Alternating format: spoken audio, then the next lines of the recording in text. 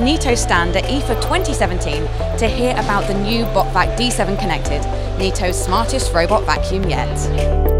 And here we're introducing the Neato Floor Planner with no-go lines. This is a Neato exclusive feature that enables the user to be able to draw no-go lines via the Neato app, which the Neato robot will honor whenever the Neato robot runs. So no need for magnetic strips.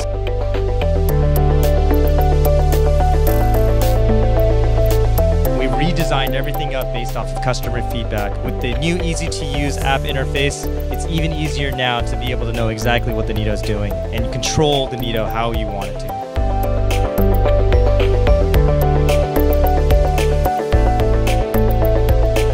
The Neato D7 has a new premium look and feel on the top, a new metallic finish, and scratch and dirt resistant. Your Neato will always look good whenever it's running.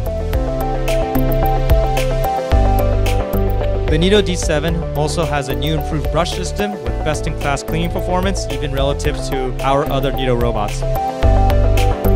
Now you can access the coverage maps from the home screen of the new Neato app, and you can see the history of all the different cleaning runs that you've had. Notice here that you can see the areas where the Neato cleaned, as well as the areas that the Neato did not clean, based on the no-go lines that you drew earlier.